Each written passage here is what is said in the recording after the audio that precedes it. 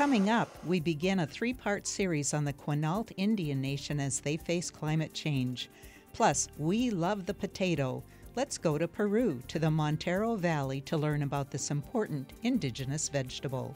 Join us for those interviews plus headlines on the ICT newscast. This program is made possible by the Corporation for Public Broadcasting, a private corporation funded by the American people. Support for the ICT newscast with Aliyah Chavez comes from the Arizona PBS studios in Phoenix at the Walter Cronkite School of Journalism and Mass Communications at Arizona State University.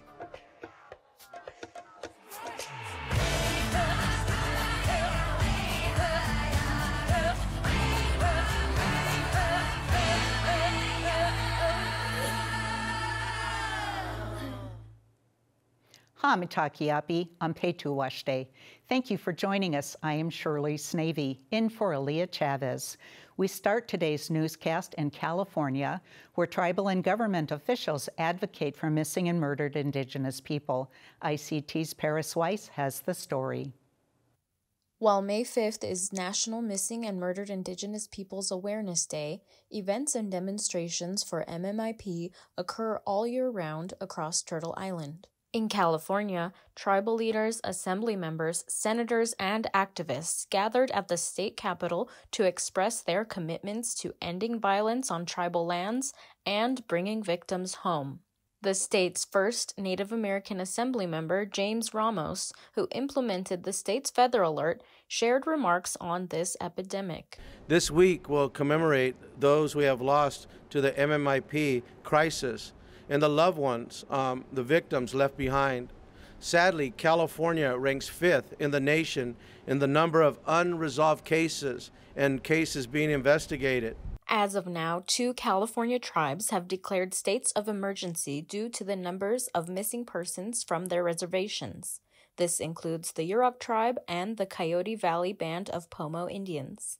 Assemblymember Ramos also recently presented Bill ACR 133 to redesignate May as Missing and Murdered Indigenous Peoples Awareness Month in the state of California.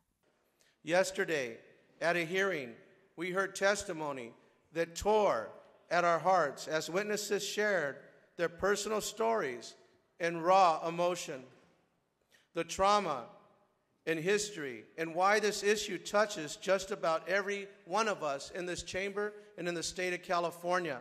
The gathering ended with a vigil at the state capitol lit up in red with hundreds in attendance and remarks from victims and their families. Paris Wise, ICT News.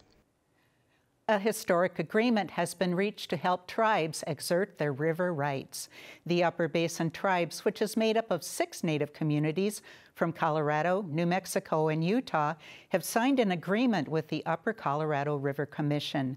Under the new agreement, tribal representatives will meet with the Commission every two months to discuss water rights and Colorado River issues. The chairman of the Ute Mountain Ute tribe explained in a statement that the tribes have a 25% claim on the basin's water rights. In North Dakota, two Native American lawmakers are voicing their frustrations after what they say was yet another example of racist behavior in their state. Video posted online from late April shows non native students imitating powwow dances at the Flasher High School prom, a scene that caused a group of native students to walk out. It comes after an incident at the girls' basketball game where a cheer coach and a parent allegedly witnessed students using derogatory language but did nothing to stop it. Representatives Lisa Finley DeVille and Jayme Davis have since asked the U.S. Department of Education to step in. You know, I'm an advocate for zero tolerance. And what that means is, you know, in no way, shape, or form should the this type of language, this type of actions be be used in any format, in any circumstance, under any context. It's just not acceptable. In Oklahoma, tribal, state, and federal authorities are dealing with the aftermath of devastating tornadoes.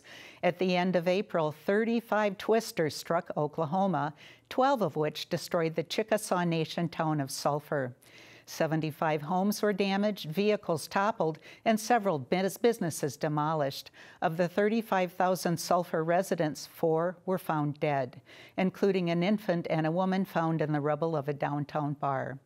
Governor Chickasaw Governor Bill Anoatubby says his nation's emergency management is still assessing the damage. State Governor Kevin Stitt has since declared a state of emergency in 12 counties after speaking to President Joe Biden. Four original, Aboriginal spears were stolen over 250 years ago, have been repatriated to Australia. The artifacts were brought to England by Captain James Cook. It's all that remains of some 40 spears that Cook took in 1770 at the time of first contact with indigenous people of Kamay or Botany Bay.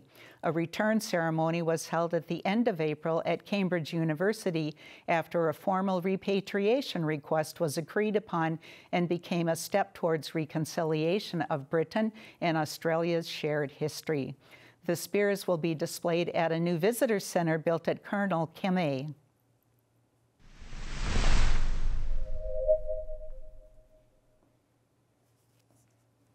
We go now to Washington State, where ICT has launched a five year project looking at the impact of climate change in tribal communities. ICT's Mark Trahant is here with us with the report from the Quinault Nation. Mark, welcome. Thank you, Aliyah.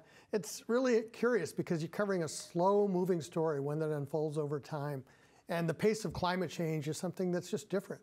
And one way we want to illustrate that is to do it over time. And as part of that, on this journey, we're exploring the shifts affecting the Quinault Nation. I'm here in Taholah on the Quinault Indian Nation. Today the sea is calm, but the sea is also relentless. It keeps rising. The community of Taholah faces floods every year, and in 2021, people were evacuated. Plus, there are king tides, the highest tide of the year, that pushes water back several streets. So, more than 20 years ago, this community began talking about relocation. So the water was coming in from the river and just coming directly into the village. And it was just kind of coming in through the driveway and then coming in through the rocks. It just, it probably filled up both of these streets here within two and a half, three and a half hours maybe. And then where we were standing now, we probably got up to, you know, a little over 12 inches. What makes the Quinault story so powerful is that it's a window into our future. The idea that, like it or not, a changing climate will determine how we live, where we will live, what we will eat, and how much it's going to cost.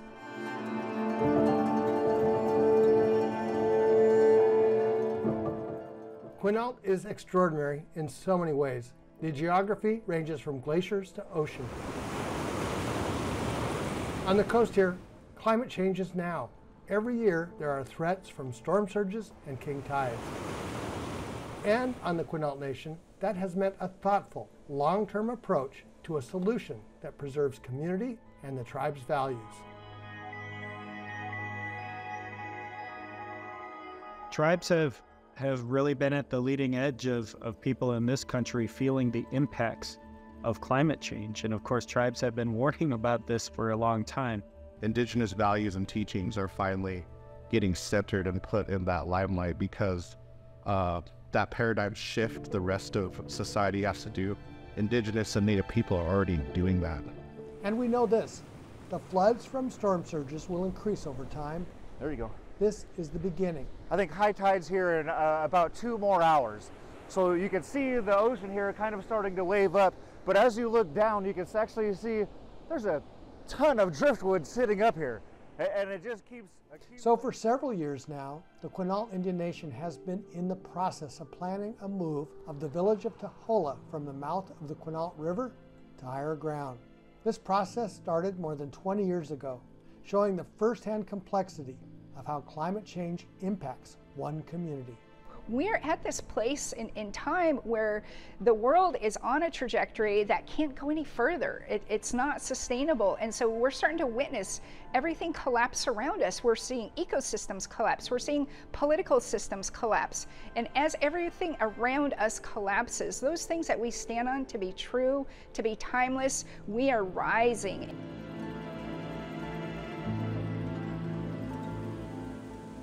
So we were trying to come up with a strategy to where we could uh, get elders to be the very first part of the relocation, and, and uh, rightfully it should be the ones that are most affected. So uh, we recently just did win an award. There are immediate concerns. The next flood is only a storm away, and the homes that survive the last ones are sometimes infected with black mold and other health concerns. The new village is about a half mile away on higher ground.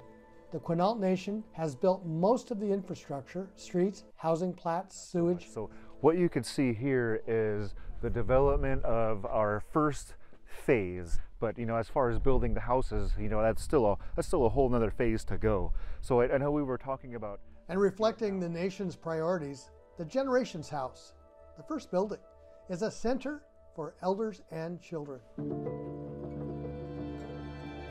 This was our most modern effort to, to relocate our most vital citizens. There are still many questions to be answered. What happens to an elder who has worked their whole life and paid off their mortgage, but because they live in a flood zone, they have to start all over again? How does that work?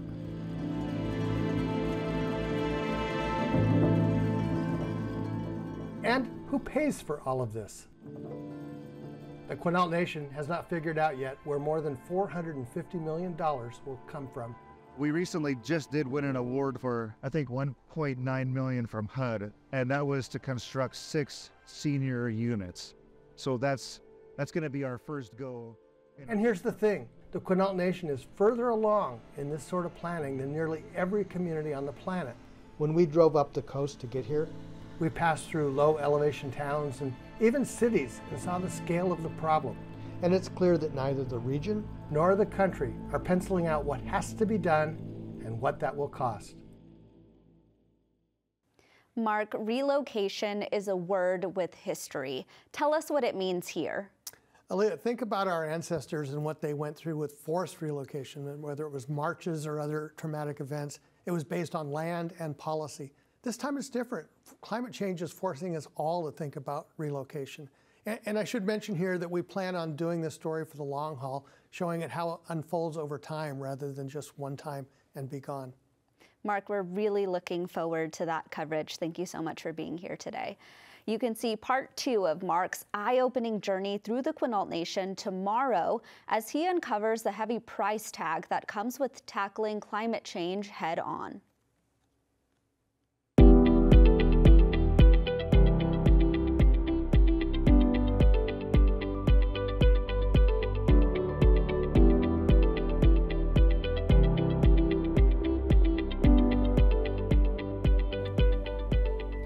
The lowly potato is not really so lowly. It's an important food crop all over the world. But for the indigenous people of Peru, it's a way of life. The McKnight Foundation has this story from Montaro Bay about how the global food systems are linked through this crop of the Andes. Let's watch. Fundación McKnight viene apoyando proyectos de agroecología en Ecuador, Perú y Bolivia desde hace casi 20 años Para nosotros, para el equipo regional andino, es muy importante que no solamente la junta directiva, sino el staff con el que trabajamos continuamente, conozca de cerca, de manera directa, la realidad del Perú, de los países andinos y la realidad de la gente con la que trabajamos. Oftentimes it's been that global sort of imposes itself upon local realities. We did see a little bit of that here, but you also see the power of the local knowledge, local networks, local leaders, local experiences moving into influencing in global spaces. And that's kind of thing we do and we want to do even better so that we can make a difference in this time where we know we need to shift how we grow food on this planet, who grows it, and how the economies grow around it as well. El Valle del Mantaro es un lugar muy especial y aquí es donde se siembra bastante cantidad de papas. Y ustedes saben que el Perú es reconocido por ser centro de origen de la papa y también por, justamente por esa razón instituciones como el Grupo ENAPAI y la Fundación Manay apoyan a, a, estas experiencias para seguir eh, conservando la biodiversidad. And in the case of Peru, Uh, the estimate is around 3,000 different uh, cultivars. Uh, the most important actor for the conservation of these varieties is, of course, the farmer. So we are here together with Grupo Yanapai, which is an NGO working in the Mantaro Valley. We are also here together with Aguapan, which is a farmer organization uh, representing the custodian farmers, also with people from SERNANP, the nature protection area from the government of Peru, uh, the municipality of Quilcas, and uh, also the International Potato Center. La papa es la base de la alimentación de los peruanos y es el tercer cultivo más importante a nivel mundial proporcionando calorías a la humanidad. Entonces es bastante relevante lo que sucede en el Valle del Mantaro, no solamente para el Perú, sino para la humanidad en su conjunto. We have to lift up these amazing leaders, the issues and the challenges that they're facing, but more importantly, lift up the solutions and aspirations that they um, present to us that we believe will not only support them and their families, their regions and communities, but also will support the world as we try to reduce our greenhouse gas emissions across the globe. We think about community practice as an important moment for learning, exchange, networking with others, and collective action. We saw the relationships, the trust of all kinds of people that wouldn't normally know each other, be comfortable with each other, challenge each other, uh, learn from each other. We just have to have a deeper appreciation for what they contribute and who they are, what their dreams and aspirations are, if we're going to really solve these problems together and to be good partners to them. And I think that's really important for us at McKnight is that we want to be the best partners possible to the courageous characters across the globe.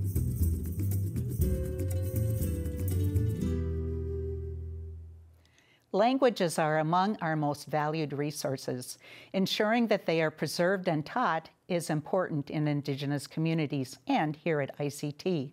Today we're continuing our language break segments, which features native speakers from across Turtle Island, sharing their beautiful and bold words and phrases.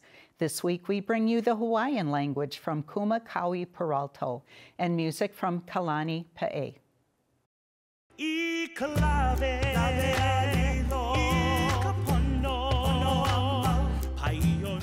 ka olelo no keola, i ka olelo no kamake. I ka olelo no keola, i ka olelo no kamake.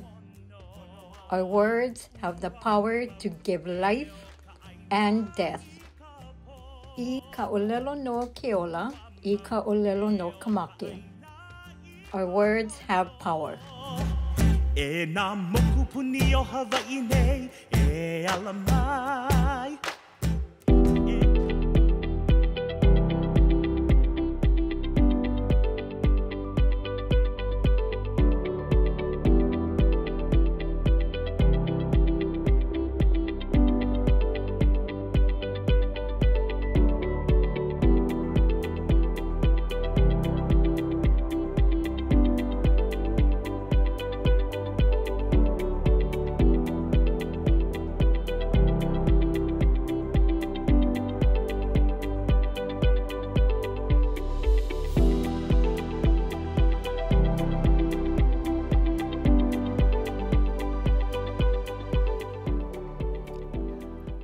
Across the country, we hear about news of tribes getting their land back.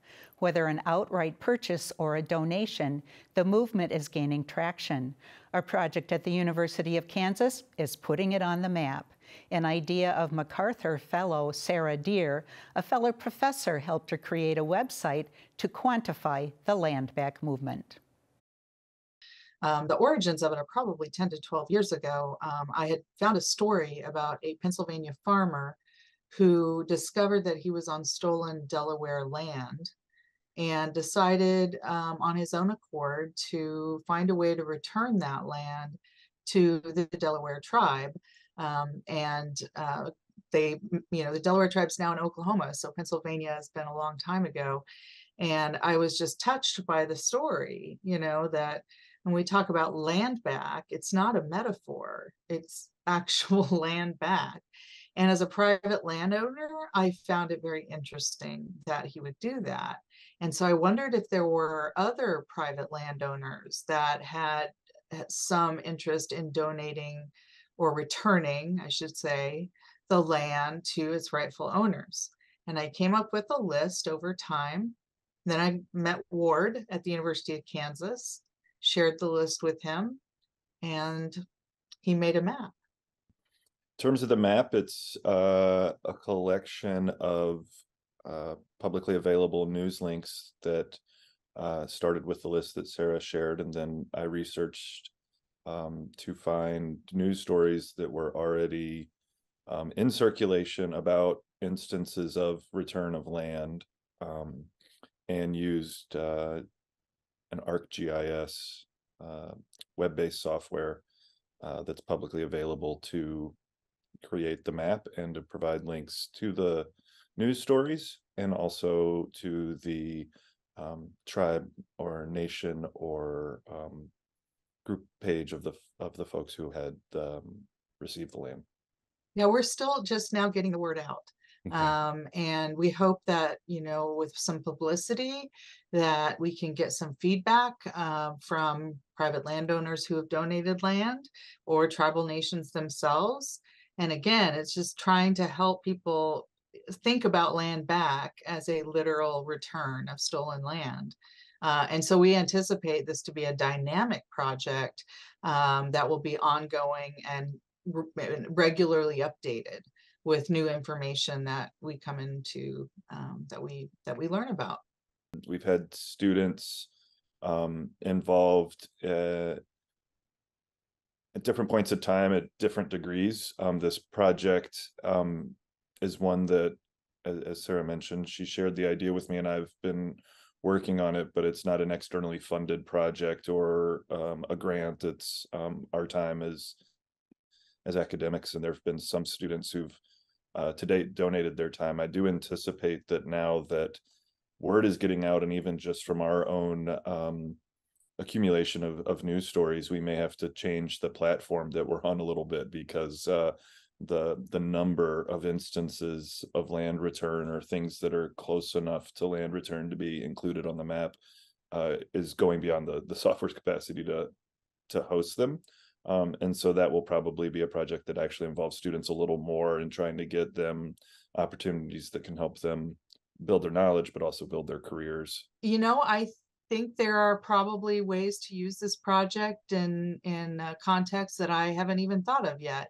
Um, it's primarily right now to educate, to give people a sense of what's happening, uh, perhaps inspire other landowners um, who live on stolen land to be inspired by that and consider themselves uh, where their land is and who it originally belonged to.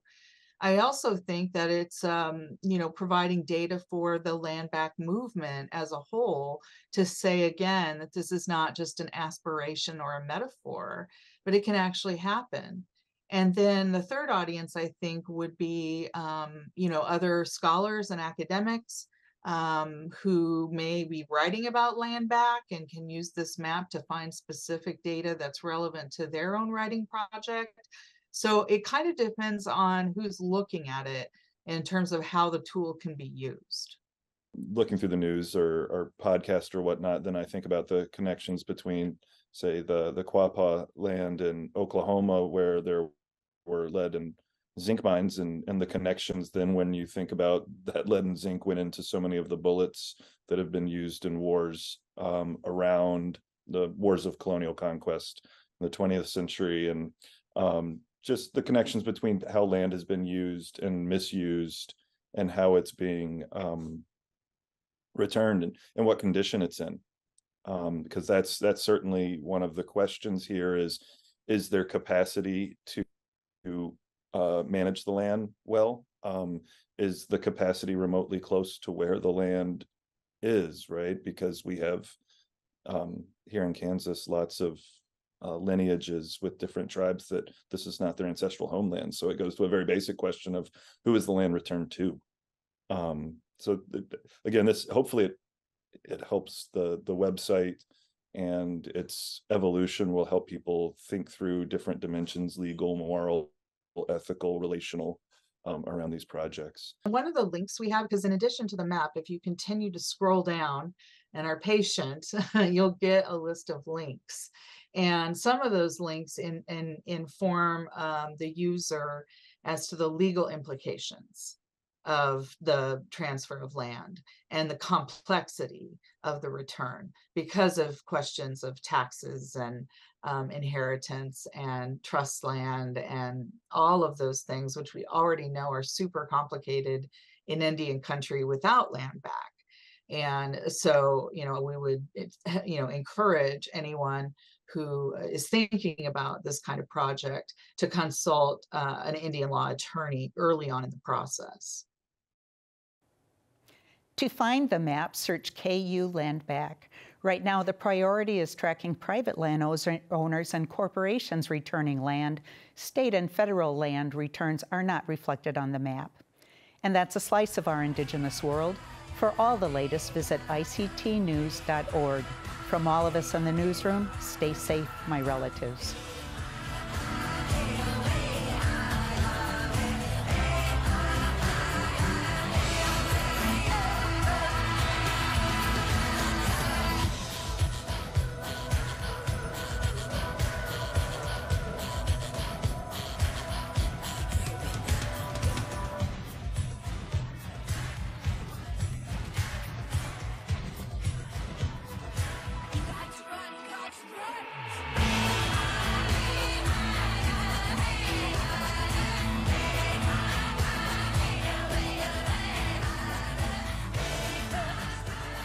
This program is made possible by the Corporation for Public Broadcasting, a private corporation funded by the American people.